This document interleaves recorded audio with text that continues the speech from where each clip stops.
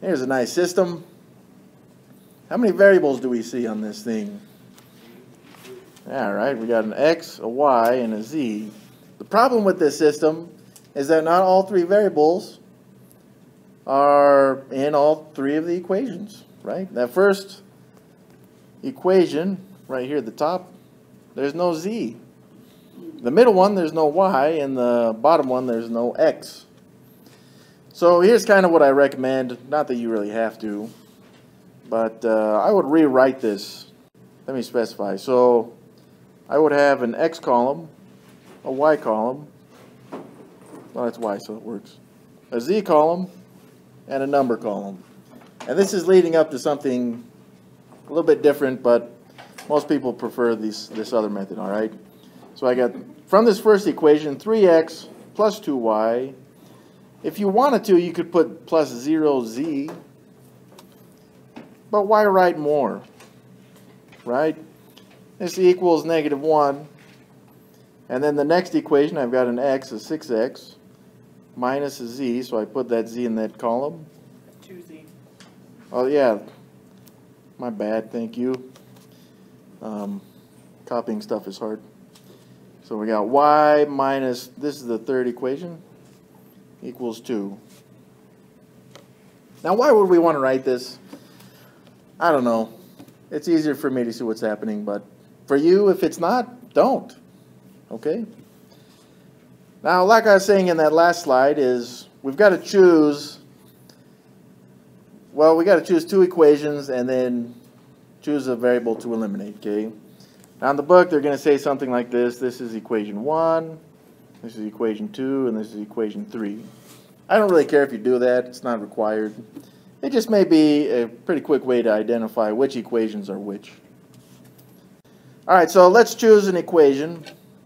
Uh, which two equations should we use? The bottom two. The bottom two. All right, that's what I heard. So I've got 6x minus 2z equals 4. And then I've got y minus 3z equals 2. Let's isolate these so we're just working with them. The reason I'm isolating these is so that we can focus on smaller parts of this problem at a time. All right? Now here's the next question is we've got to choose which variable we want to eliminate. So let, here's a good question then that goes along with this. Can we eliminate the x's? No. We can't. Why not? There's no other x in the other equation. There's no x's right there, right? We could, we could put zero there, but whatever we scale this by is going to, well, it's going to produce another zero. Can we eliminate the y's? No. No, because there's no y's in this equation right here, right? So that's no good. But it is okay since we can eliminate the z's. So based on what you know already, how would we eliminate those z's? Well, back up, it's easier to take the first and third equation because then all have to do is multiply bottom and. Excellent, excellent. Let's do that. So I'm going to multiply that top equation by 3 and this bottom equation by negative 2. Now I'm multiplying every single one of the terms by these factors, okay? Or multiples, whatever you want to call it. Um, Why are you not doing it by negative three? so here's what we need. We need the coefficient, since we chose to eliminate the z's, we need the coefficients of the z's to be the opposites. Meaning they're the same numbers, but one's positive and one's negative. Then when I add them together, they eliminate.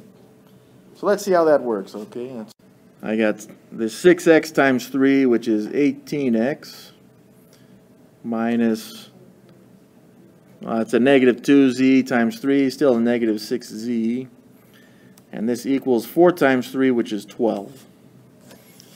All right, next up, we're going to multiply that bottom equation by that negative 2.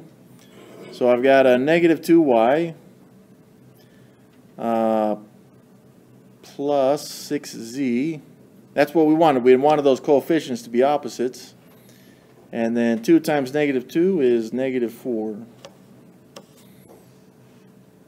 Any questions on? Well, let's go and add these two together. So I've got 8 18x plus, well, there's, there's no x's right there, so I still have 18x.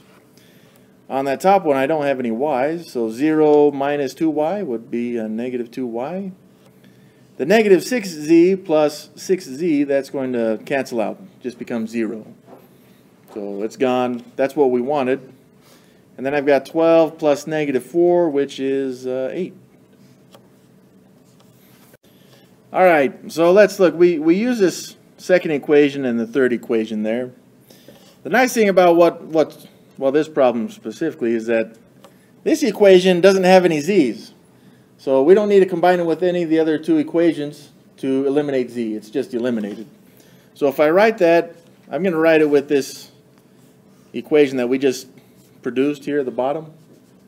The 18x minus 2y equals 8. So let's write that out. See, now I have a system of equations with only two variables. Now, if this is confusing, that's maybe because it's a little jumbled, so let's just look at this part of this problem. So, is there anyone that would choose to eliminate the x's just out of curiosity? You could. Well, Wouldn't you just eliminate the y's because they're already a positive and a negative? That is exactly what I would do. The y's have opposite coefficients, so when I combine those, when I add those together, I get a zero. They eliminate. So I'll take 18 plus the 3x, that's 21x. That equals uh, 8 plus negative 1, which is uh, 7. So I would take both sides and divide by 21, just solving equation stuff. And I'd get, I'd simplify that to 1 third. Well, there's my x value.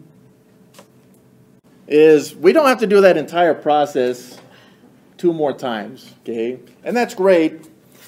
Um, the way this one sets up, I know a lot of people complain because teachers do the easy problems. I didn't. I didn't kind of choose this one on purpose, and we're going to do a harder one in, in a minute. So uh, this one's going to turn out pretty easy because let's look at the other three equations. All right.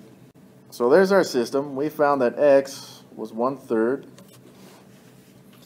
So uh, you see these. See these other two like this. This equation here at the top, right? If I replace the x with the one third, I could solve the equation for y pretty pretty easy there, right? Let's set that up. We got a 3 this is times x, which is one third. That's what we think it is anyways, right? Because we, we're going to check. Plus 2y equals negative 1. All right, well, what is 3 times 1 third? That's 1.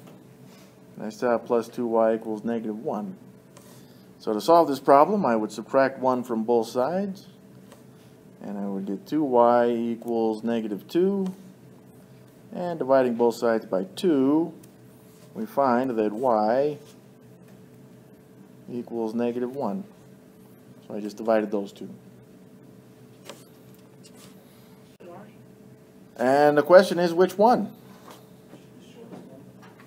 Well, as it turns out, there's not really a shorter one on this one, right? I'd do the bottom one so you don't have a fraction that you have to. Okay, let's let's do the bottom one because the x is a fraction, and I mean, I mean, it's if we're normal people, we hate fractions, right? And that's okay. So let's do the bottom one. I've got y, which is negative 1. That was a little sloppy, but it works. Equals 2. So this is the bottom equation here. But I've replaced the y with negative 1. So I'll add 1 to both sides. And I get negative 3z equals 3. And to solve for z, I would divide both sides by negative 3. And I get z, oh man, I really ran out of space there, didn't I? z equals negative 1. So there are our three answers. As an ordered triple, this would be 1 third, negative 1, and negative 1. And this would be how we would write the actual answer there. Now, I'm not going to check because I know the answer is right. Uh, For a million dollars? For a million dollars, I would. But I can just push the button and see the answer. Here's the, here's the thing about that, all right, is you should practice doing the checking. Um, I'm not really just for time's sake. Okay, I want to make sure we can get through the whole lesson. And you see how long that problem took? Like if you got to the end of this problem and found that you had got the wrong answer, I mean, find don't find any people to beat up, but you know, maybe a bat and a ball or something to kick. If you have a dog, you can do that, right? The common mistake I always made I'm- before. Yeah, and, and that's something I would expect, okay? But just something so small, maybe even it's a minus and a plus. Maybe you added when you should have subtracted. Something as small as that is gonna throw your answer way off. Okay? So keep that in mind. Well, that looks pretty, I mean, right? That looks like one of those problems they'd put on a commercial.